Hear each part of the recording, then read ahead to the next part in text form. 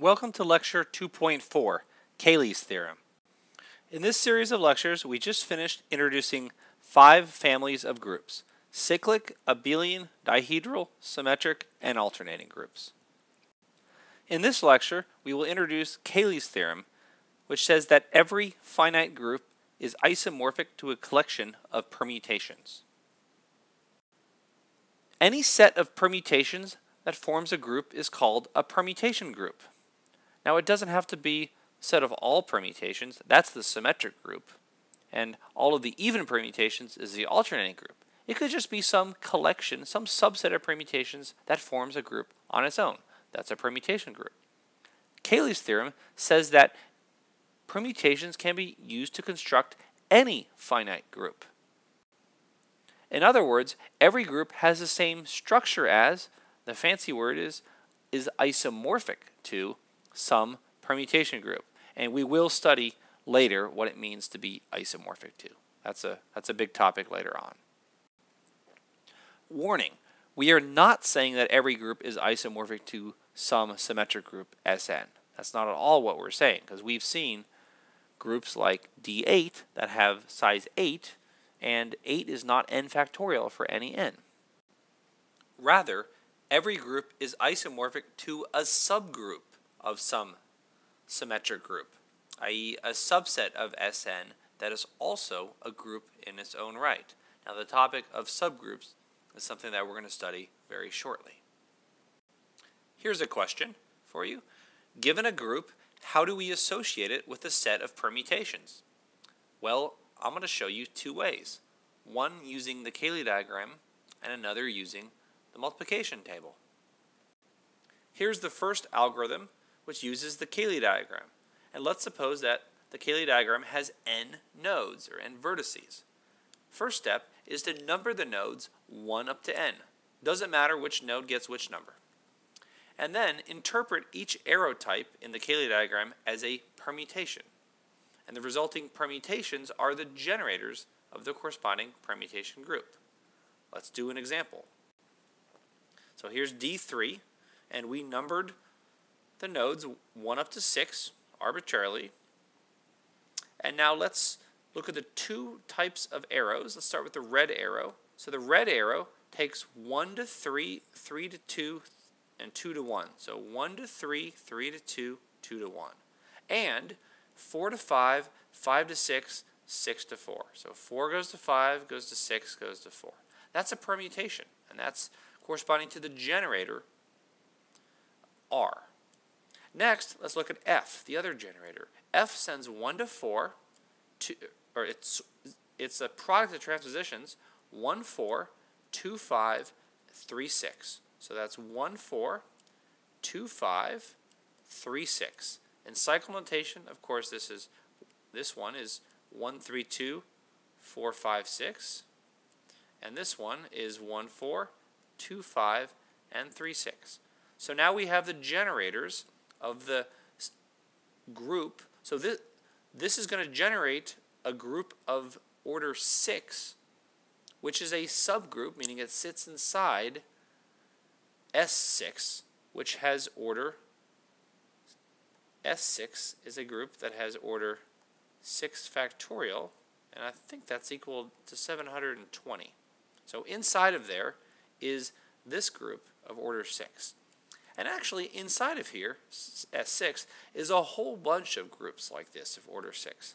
As you can imagine, as we um, this labeling, 1 up to 6, was pretty arbitrary. If I had labeled this 1, 2, 3, 4, 5, 6, I would get a completely different group of order 6 that sits inside of S6. So there's going to be a whole bunch of these guys inside of, inside of S6.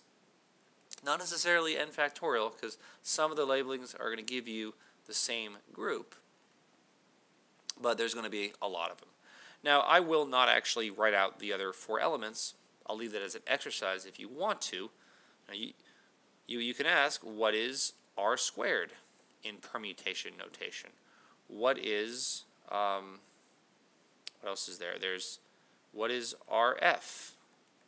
What is r squared f? And I, I think I'm missing, um, oh, and of course there's the identity, which is going to be the identity permutation. So I encourage you to pause the lecture and take a minute or two, just for practice, and write out these three elements in cycle notation using the generators R and F. Next, here is an algorithm given a multiplication table with n elements. First, replace the table headings, which are normally group elements, with 1 up to n. Might as well make them in increasing order. Next, go through the rest of the table and make the appropriate replacements, replacing elements with the corresponding numbers. And now, interpret each column as a permutation. This results in a one-to-one correspondence between the original group elements, not just the generators, and permutations. Let's do an example. Here is the multiplication table of V4. So before the replacements, I guess this, this was E, V, H, and VH. So E, V, H, and VH. So what we did is we took V, I've colored that red to denote that we're replacing V with 2 and H, which is blue, with 3.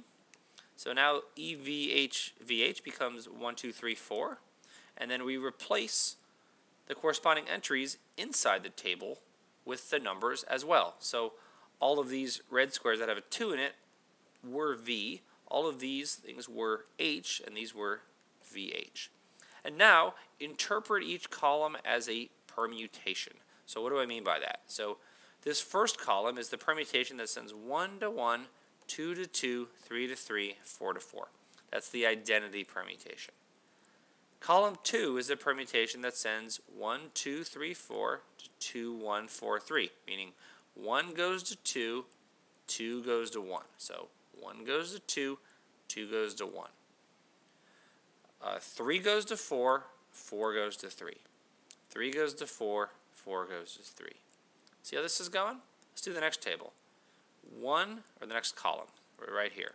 1 goes to 3, and 3 goes to 1. So 1 and 3 are swapped. 2 goes to 4, 4 goes to 2. So 2 and 4 are swapped. And finally, the last one. 1 goes to 4, 4 goes to 1. That's right here. And 2 goes to 3, and 3 goes to 2. That's right here. So V4 is isomorphic to this subgroup of S4. So the subgroup generated by, well, there's three permutations. We can pick any two of them because we know any two of these three elements generate V4. But let's stick with our original generators, V and H. So this is the subgroup. So th this is a subgroup inside of S4 that is isomorphic to V4. And It's generated by these two permutations. Now, of course, we could have done, you know, we, uh, we could have labeled these differently. We could have swapped the, instead of 1 up to 4, we could have done 1, 2, 3, 4, and we could have gotten, like the previous example, we could have gotten another subgroup of order 4 that sits inside of S4. Now, not every permutation is going to give us a distinct subgroup. Sometimes we double up, and different orderings will give us different subgroups. But there will be a number, or there's at least a handful of distinct subgroups inside of S4 that are isomorphic to V4 via this construction. Finally, we can get to Cayley's theorem. Intuitively, two groups are isomorphic if they have the same structure. We're going to study this later and we're going to see different ways to verify that groups are isomorphic. One way that's a guarantee is if we can construct Cayley diagrams for two groups that look identical. In that case, that's a certificate saying, yes, these groups are isomorphic. Remember, the converse is not true. Just because we have two Cayley diagrams on the same number of nodes that look different doesn't necessarily mean that the groups are actually not secretly isomorphic. Cayley's theorem says that every finite group is isomorphic to a collection of permutations. Our algorithms exhibit a one-to-one correspondence between group elements and permutations. So we, I've showed you how to do this constructively.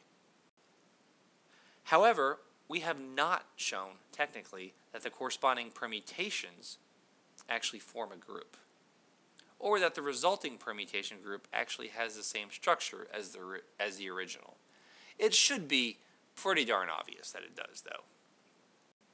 What needs to be shown, technically, is that the permutation from the ith row followed by the permutation from the jth column results in the permutation corresponding to the cell in the ith row and jth column of the original table.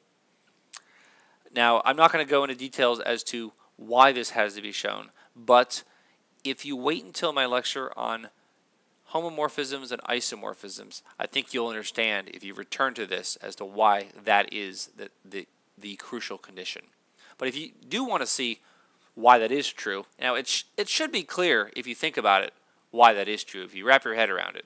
But otherwise, I'll refer you to page 85 of the textbook, Visual Group Theory, for an actual formal proof.